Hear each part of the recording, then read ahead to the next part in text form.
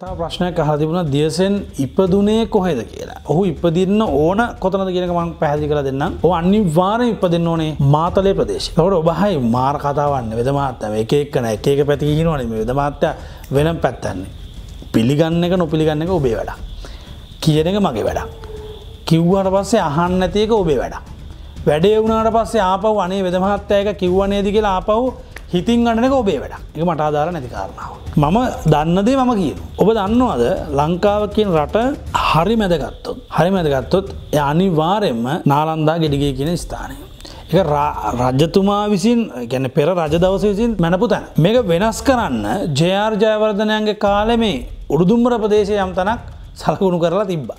හැබැයි ඒත් තැන ලංකායි හරිමැද නෙමේ. එතකොට දැන් නාලන්දා ගෙඩිගේ කියන ස්ථානය පෙර රජ දවස සිට ඔය කියන දියසෙන් කුමාරයට බොහෝම ළඟ තැනක් වෙනවා. ඒ හේතු මං පැහදි කරදන නාලන්ද ගෙඩිගේ නිර්මාණය කරන බොහෝ සංකල්ප. බුද්ධදාස රජතුමාගේ එතකොට අපි දන්න සුරනිමල යෝධයාගේ ඒ ඒ දෙන්නගේ එකතු ඉටස වලගම්බාරත්තුමාගේ සම්බන්ධාවේ මේ හැම දෙයක් එක්කම ඒක්කම අනිවාරම ගැන රාවණරත්තුමා පැහැදිලුම ගැන රාවණරත්තුමාගේ ප්‍රියතම නගරේ මාතලයට පොඩක් අල්ලපු තැනක තමයිද ප්‍රියතම නගරේ තකොට ඒ සීගිරන මේ හොඳේ.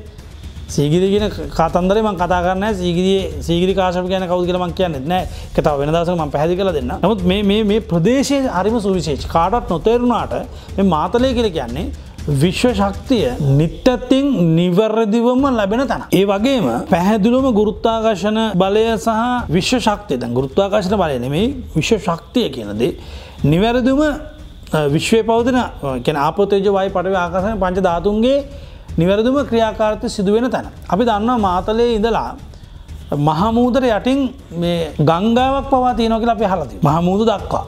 මේක තමයි ම ගත් තවත් නිර්ණයක මේක තව ගොඩක් දෙවතන අපි ගණනක අපි දෙවල් කියන්නම ඔබට පැහදිි කරන මේ අනිවාරෙන් ඔහු මාතලේ ප්‍රදේශයේ විය යුතුමයි විය යුතුමයි. එතකොට ඔහු ඉපදුනේ මාතලය කියල කියන්නේ ඔහු මාතලේ දිශ්‍රික්කය තුළ අනිමාරය කොහැර තැනක් විය යුතු මාතල දිශ්‍රික ගැන හරිටම මං කියන තැනඉදල ගත්තොත් සාමාන්‍ය අපි ගමු කිලෝමීටර් රිජුමාර්ග රිජුමාර්ගේ රිජුමාර්ග ගැන ගුවන් සතපුම් කියලකත සාමාන්‍යෙන් කිලෝමිට විසිය එකක වගේ දුරසීමාවක් ඇතුළත කොහහරි තැනක ඔහුගේ මුල් බිම පැවති යුතුයි. මුල් බිම ගැන ඔහු එහ ඉන්න ඕන. ඔහේ ඉපදිලා තින්න ඕනේ. එක වරදින්න විදියක් මනෑ හරද? එතකොට ඇයි වගේ ප්‍රදේශ ඉපදුනේ කියනක මං ඊළඟනාය පැහදි කළ දෙන්න තකොට එකක් තමයි විශ්වය පවතින අපතේජ වයි පටව ආකාශගෙන පංචධාතුූන් හසුරුවන්න පුළුවන් ස්වභාවේ ශක්තිීන් නිසිලෙස ආරෝපණය කරගන්න පුළුවන් ප්‍රදේශයක් වීම එක. දෙක තමයි බොහොම සුරක්ෂිත දේශයක්. මේ කාඩ නොතේරුණාට බොහොම සුරක්ෂිත දේශයක්.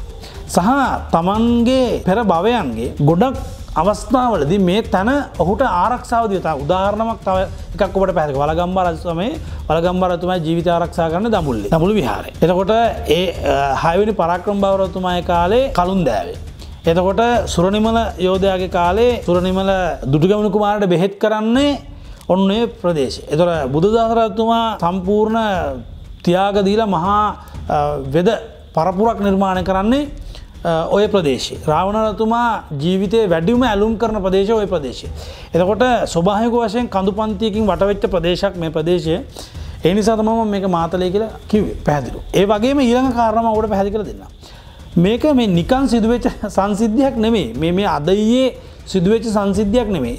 දෙවුන්දරට එන රත්කිහිරි කොටෙන් රත්කිහිරිලියෙන් තැනන විශ්ණු දේව ප්‍රතිමාව. අපිගෙන සරවිශ්ණු දේයන්ගේ සරවිශ්ණු දේයන්ගේ ප්‍රතිමාව තියන්න පුළුවන් වුණේ මාතල විතර ය දමුළු සමාවෙන් දමුළු විහාරය. තොර දමුළු විහාරේ මහවිශ්ණු දෙයන්නාසගේ නේත්‍ර බැල්ම තියෙන සීමාව අනිවාරයෙන් ඔහු ඉපදී යුතුයි. මංකිවොට වරක ඔහු ඉපදෙන්නේ රුහුණ ජාතකන් කියනවා කියලා.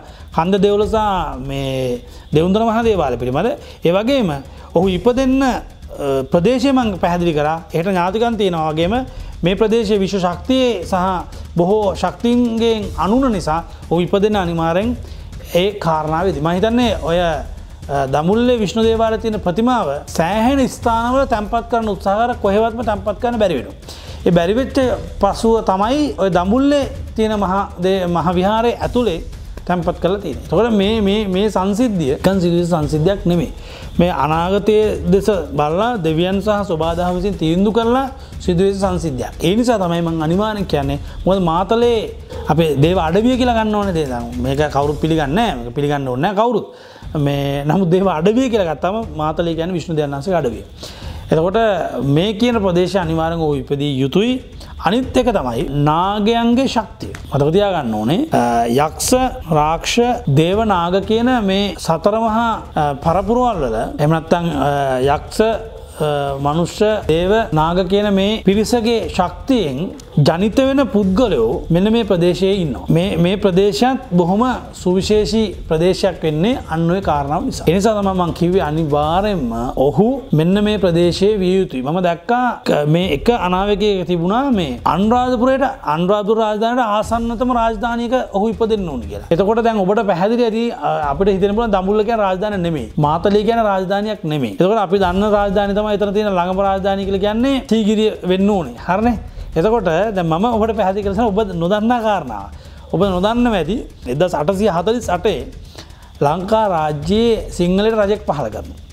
ඒ සිංහල රජෙක් පහගන්නේ සංගරාජ හිමිනමක්කසින් ඔටුන් පාදන කුමාරෙක් වෙත්නම් ඔහු රාජ්‍ය අභිෂයක ලබා දෙන්න පුළුවන් එදා සුද්දගේ තේ ගහපු ගියවසුමට ගියසුමේ දැන පෙන්න්න තින ගියසුමේ නැහැ ඇත්ත ගියසුමේ තියන ොද එතකොට ඒකට අදාළව ලංකාවේ ඔටුනු පරඳනවා කුමර? ගොංගාල ගොඩ වන්නකි ල ගොංගාල ගොඩ වන්නගේ රාජධානය වෙන්න දම්බුල රාජධාන හරි? එතකොට ඒ අනාවගේ කිව පුද්ගල මන්දන්න කොහමතික මකන ගනිතඥයකුත්තය පිළිබඳ කතා කරම අන්රාධපුරේ ප්‍රදේශයෙන් බිහිවෙනවා කියලා.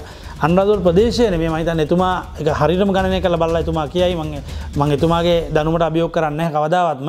නමුත් මේ එතුමා කිව්ව කාරණය සත්‍යතාවයක් තියෙනවා. අන්රාධ රාජධානයට ආසන්නම රාජධානය ම හලති මම මට හම්මු අනාවැක්කි තිබුණෙත් අන්රාධ රාජධානයට ආසන් රාජධාන. ත රාජධානයක් කියෙන දමුල රාජධානයක තමයි අරගෙන තියනෙ ඔබ නොදන්නවා වනට වලගම්බාරතුමා රාජ්‍ය පරිපාලන කරපු තැනක් නෑ. වලගම්බාරතුමා රාජ්‍ය පරිපාලන නොකරපු ගැන එතුමාගේ මාලිගයක් නෑ. එතුමාගේ මාලිගයක් තමයි දමුල්ල විහාරක කවරු නොදන්නවා ඒක පිළිබඳ යම් දවසක ඉතිහාස ඕන කෙනකට ඒ පිළිබඳ තොරතුර ලැබේ. එනිසාතම ම පැහැදිරුම කියන්නේ මේ මේ අනාවකි කියන දේවල් අතීතය සිටත් ඇවිල්ල තියෙනවා වර්තමානත් ඒදවල් අපි කතා කරනවා අනාගතය දේවල් සිදු වේදන වේදි කියලා කාටත් කියන්න බැරිවුණත් මං බොහොම වගකීමෙන් කියෙනවා ඔ අනිවාරෙන්ම මාතලේ ප්‍රදේශයේ උපන් කෙනෙක්කු මයි. වෙන කිසිම කෙනෙක් ඔය පිළ මොන තර්ක ගෙනාවත් ඔබට තව වැඩි ඇතක් යන්න කලින් ඒ පිළිබඳ දැනගණඩ ලැබේ.